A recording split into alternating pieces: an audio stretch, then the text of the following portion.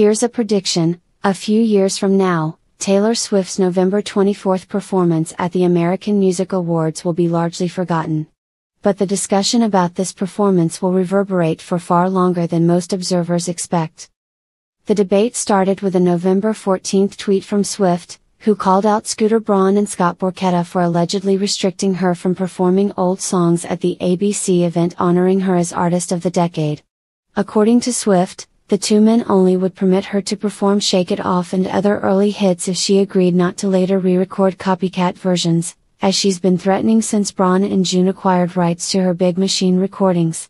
Big Machine denied such a move. It's conceivable each side was telling a version of the truth. While most have focused on whether Braun and Borchetta truly have the ability to block Swift's performance, the thornier and somewhat unresolved legal issue pertains to distribution of Swift's recorded performances. Consider this prospect Swift sings at the AMAs, and producer Dick Clark Productions subsequently releases both a live album of the event and an archive stream. Swift then tells her 85 million Twitter followers to please listen and watch these live versions of Shake It Off rather than the original one that contributes money to Braun's wallet. Since Swift owns the copyright to the composition, Big Machine owns the masters, she'd financially benefit from doing this. Braun and Borchetta may have seen Swift's AMA performance as a backdoor route toward re-recording hits and taken the position that any distribution of Swift's recorded appearance flouted Swift's contract. Several lawyers consulted by THR say this read of the dispute makes sense. It's also supported by a statement put out by Big Machine on November 18 noting its agreement with Dick Clark Productions with respect to post-show streams and rebroadcasts. Recording artists do not need label approval for live performances on television or any other live media, read the statement. Record label approval is only needed for contracted artists' audio and visual recordings and in determining how those works are distributed. Dick Clark Productions is a division of Valence Media, the parent company of THR. If the Swift Flash Big Machine controversy was the result of fear over how her performance would be commercially exploited in the distribution market, this points to a developing issue for the future relationship between artists and record labels that will not simply end with the AMAs. It's one that is born of technological shifts as much as egos.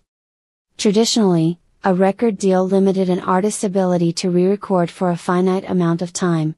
Five years was customary.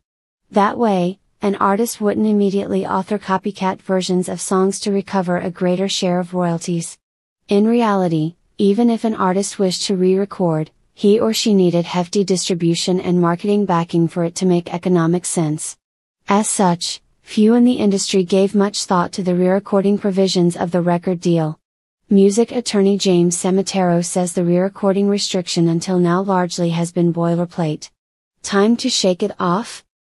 Nowadays, online platforms like Spotify and YouTube make it much easier for artists, especially established ones, to deliver to audiences.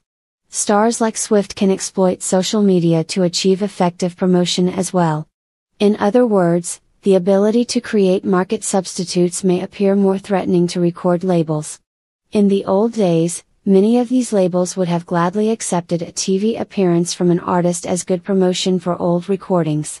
Not anymore necessarily, I see broader blanket prohibitions coming, says Sammataro. From the artist's standpoint, the influx of private equity into the music business raises the temperature as well. In her initial tweet, Swift may have hit an industry nerve by pointing to how the Carlyle Group financed Braun's acquisition of Big Machine. With big Wall Street money comes big expectations. The potential of third parties complicating the relationship between artist and record label is very real. The situation between Swift and Braun may be somewhat unique, but no artist wants to lose control over his or her ability to perform older hits. Once a record deal ends, artists would prefer to assert more authority, not less.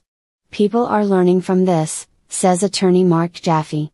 This could become the impetus for making these contracts more clear.